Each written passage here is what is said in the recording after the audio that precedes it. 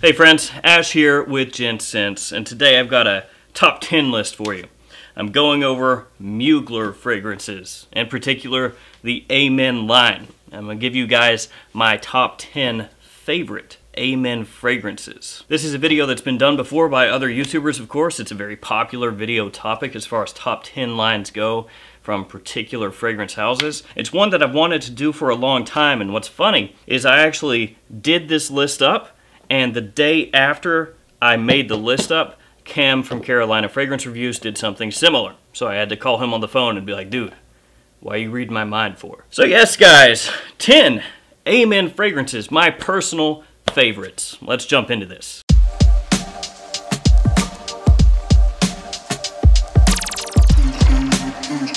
Before we get started in the official top 10, I need to let you guys know that there are going to be a few fragrances that I leave out. I'm going to give you guys the reason why. And also, this top 10 list is not what I consider to be the most important of the Amen line. So this is not the most historically significant Amen fragrances from 10 to 1.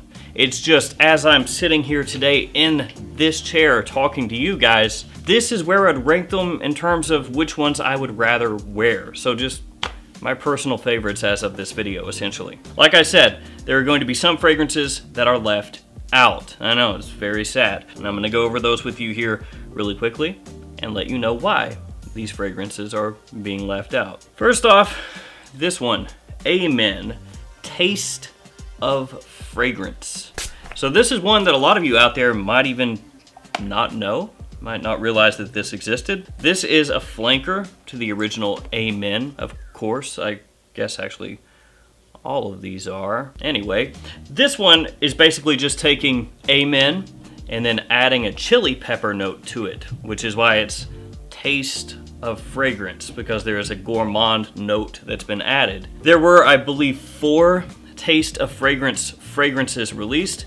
This is the only one that was done for men. And this one I'm not including because it's one that a lot of guys are not going to recognize immediately as a flanker. Typically with these Amen flankers, it's pure whatever, malt, energy, wood, etc. This one is just taste of fragrance. And so I'm not including it for that reason. It's one that a lot of guys are not gonna really know. Though personally, I do think that it's pretty cool. I like that chili pepper twist, uh, and my wife absolutely hates it. And she thinks it sucks. I'm also not including this one, Ultra Zest. The reason I'm not including Ultra Zest is because it's discontinued, and if you wanna pick this up, it's gonna run you a lot of money nowadays. Prices for this fragrance have gotten exorbitant. Some people are asking for over $200 for a bottle of Ultra Zest on eBay. You'll see it pop up in Facebook groups where people are asking huge sums there as well. We'll talk a little bit about Amen in general, but one of the common themes you're gonna find in Amen fragrances is the note of patchouli. That's a note that you're gonna find pretty much across all of these fragrances. This one does have a patchouli note, but it's not really known for patchouli. This one is more known for orange and tangerine, which not really a surprise, right? I mean, check out the color of the bottle. A lot of people compare it to the smell of a creamsicle. And this one would have easily cracked the top five had I included it. It's just where this is so hard to find nowadays. If you don't already have it, you're probably not gonna get it unless Mugler brings it back out. I can't sit here and tell any of you guys that it's worth the crazy prices that some people are asking for that now. And then last up is this one, B-Men. And this is actually really cool because it's a metal case. And actually the atomizer on this metal case, so much better than the Amen atomizers. These atomizers, these are some of the worst in the game. These are terrible. A lot of people will actually do what I've done with my Ultra Zest one and they'll cut right here. That way you can press down much easier and get a better spray. Anyway, back to B-Men. This one does have patchouli, so it has that in common with Amen. It's also got licorice, anise, and spices as some of the notes. The reason this one is not included is because it's B-Men, not Amen. And this list is based off of Amen and Amen flankers, so B-Men did not make the list, but I wanted to bring it up. Now, we're gonna finally start talking about the top 10. Some of these fragrances are easier to find than others right now. Some of these fragrances, even going back a year or two, you could find very cheaply, but now they're not at discounters as much anymore and they're getting harder to find. And I'll let you know as I go through each one of these how easy or how hard they are to find as of this video at discounters. So we're gonna start this off with number 10. This is the one that I think I would like to wear the least out of all of these fragrances. Now, even though this fragrance is at number 10, I don't think it's a bad fragrance. I don't smell this and go like, oh, terrible, nobody should ever wear that, it's trash. All of these are good, it's just they're differing levels of good. Some of them are fantastic and others are just okay. And this one, being at number 10, is one I consider okay. It's this one right here, Pure Coffee. And I actually wore this fairly recently in a weekly rotation. Now, like I said, patchouli, that's gonna be one of the common themes here. Patchouli, patchouli, patchouli in each one of these fragrances. What do you think Pure Coffee has to set it apart? Did you guess coffee? You guessed correctly, good job. The coffee here though, is not as prominent as I would like, and it just doesn't come across as inspired or original as some of the other Amen flankers. So when you compare it up against some of these other fragrances, it just doesn't hold quite as much of a candle. It doesn't set itself apart, like I said. To me, it is not something that's worth owning unless you are a big Mugler collector because there are other fragrances that you can get from this line that will work better in the same situations that this one will. Now, all that being said, it is not a bad fragrance. It does not smell bad. It's just for me, it's at number 10. Pure Coffee as of right now, you can find pretty easily at discounters. There have been times in the past that it has not been at discounters, but as of this video, it is readily available at discounters, so that one is not hard to find. That takes us to number nine, of course, and this is the newest of the bunch. It's one that I reviewed not that long ago, Amen Ultimate. Now, my wife does like this fragrance a good amount. It's just, for me personally, when I put it up against some of these other ones, I'd rather go with some of the more old school in the line, which they're not really all that old school, but you know what I mean. This one has notes of mochaccino, balsam fir, and cedar, along with, of course, patchouli. And this one, the coffee note comes across a lot sweeter and creamier than in pure coffee, the one that I talked about before. This one also is actually one of my wife's uh, favorites of the whole bunch. So even though I put this one down at number nine, she would probably have it in the top five. As I said, I did a review on that one not very long ago, so you can check that review out if you want more information on Amen Ultimate. I know that some people have not been impressed by it and think that it's a terrible release. I don't think that it's terrible, but I do wish that it had a little more umph. Ultimately, what it comes across to me as is uh, bits of wood and then a, a sweetened coffee, a very very sweet coffee. Mugler Amen Ultimate is available on Mugler's website, so you can pick this one up there. It's not yet at discounters as of this video, but I imagine it won't be long before it is. That one also easy to find. That's gonna take me to number eight. Uh, now this one, some people may not be happy that I've placed it at number eight, but in terms of what I'd rather wear nowadays, it's where the fragrance ends up. The original Amen. It has uh, caramel, coffee, patchouli, vanilla as some of the notes in the fragrance. And Amen is a fragrance that for some people really has to grow on you. It's strong, it projects, it lasts, it's loud. If you spray this on really heavily and you've never worn this fragrance before, you might be taken aback a little bit. Some people actually have compared Amen to smelling, I think, like uh, tar. Like some people really can't jive with it. To me though, classic fragrance, I actually like that it's loud. I like that it's out there. I enjoy the patchouli. I enjoy the gourmand notes that are in here. It set in motion all of these fragrances that came after it. So it really is a modern classic scent. And there are some of these fragrances that smell closer to Amen than others. For example, Pure Coffee smells similar to Amen. You can pick up the DNA. And then uh, there's another one I'll talk about here in a little bit that also has that Amen DNA much stronger than some of the other fragrances. I like the fragrance. I think that it's one that if you have a collection, you should definitely own the fragrance.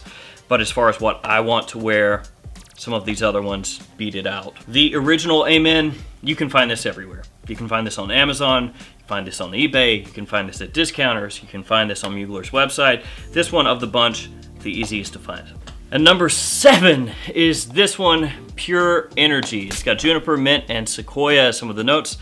Uh, this was originally released as Pure Shot. It was the same bottle, same fragrance, just a different name. And it turns out that Pure Shot was actually a terrible name for this fragrance because the original face of this fragrance was Oscar Pistorius, who is the uh, Olympian Blade Runner. He, he had no lower part of his legs, uh, who ended up shooting and killing his girlfriend. And uh, the name was changed to Pure Energy, which is probably a good idea. Pure Shot, just really poor choice. This one is very different than the others in this line because this is through and through a spring, summertime fragrance. It goes for uh, more of a brisk kind of feeling, a very fresh feeling. Now Ultra Zest that I talked about before, you know, that's orange creamsicle. You could definitely wear that in warmer weather, but this is more what you think of as a fresh, clean, brisk, uplifting, uh, refreshing, warm weather kind of scent. Obviously, that's because of that combination of juniper and mint. There's also patchouli in here, though it's not going to be anywhere near as heavy as in Amen or Pure Coffee or some of the others in this line. And then you've got Sequoia as well, so it's more just uh, kind of a, I don't mean it in a bad way, but like a synthetic woody base. Pure Energy is an easy fragrance to pull off. Uh, the main thing with that fragrance though is it may not be as memorable as some of the others in this lineup. Pure Energy. You can find this at discounters as of right now very easily, though as I mentioned before, it may come across on those websites as Pure Shot.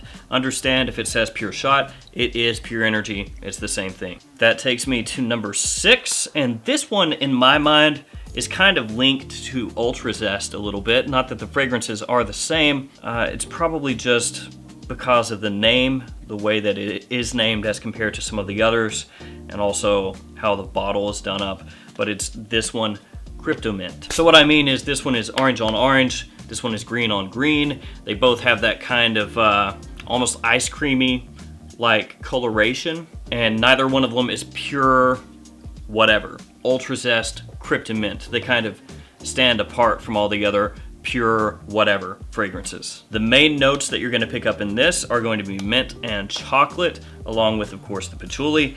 This one comes across to me kind of like a, a chocolate mint, like an Andes chocolate mint. Uh, some people have also compared it to like a mint ice cream, like a chocolate mint ice cream. And that is a pretty good description of how that one comes across. Kryptomint, when it was released, was viewed as kind of a so-so release. A lot of people weren't as pumped up about that one as some of the others in the line. Uh, to me, it's not as easy to wear as some of the other fragrances in the line. Some of these in cooler weather you can pull off in lots of different situations. Kryptomint has to be when I'm in that mood for a mint chocolate fragrance. It is a good release though, and for me, that one comes in number six. Kryptomint. You can find this, as of this video, readily at discounters. This is an easy one to find as well. It's gonna take me to number five. It's this one, Pure Leather. Now this one gets compared to the original Amen. So there's a lot of the original Amen DNA in Pure Leather.